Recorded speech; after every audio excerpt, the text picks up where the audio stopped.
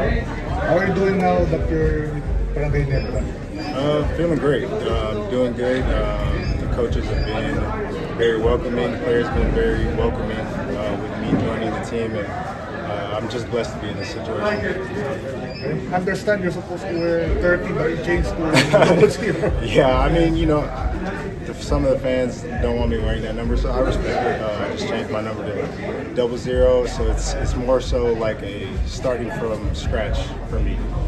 mentioned that uh, you really wanted to play for Ginebra and uh, uh, the feeling is mutual. Yeah. What can you say about that statement? Oh no, definitely. I mean, you know, as much as you enjoy playing against Ginebra, you know, you always you also want to be on that side as well. So, you know, I pursued Ginebra as, as well as they did me. So, I think it was just a great fit, and like I said, I'm just blessed that I'm in this position right now.